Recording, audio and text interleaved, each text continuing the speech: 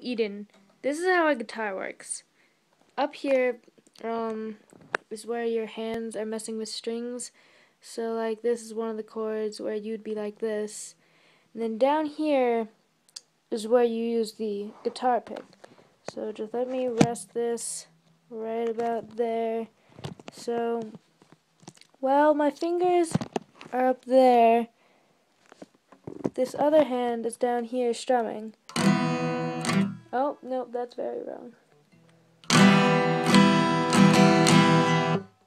That was also probably really loud, but like, so one hand strums down here, one hand strums down here, the other is digging its fingers right into these chords so you make sound out of them.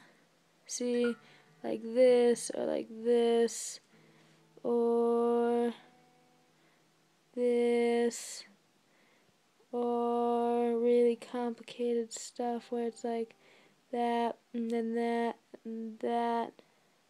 Nope, that. Yeah, so one hand down here, one hand up here. Basically, that's it. Ta-da!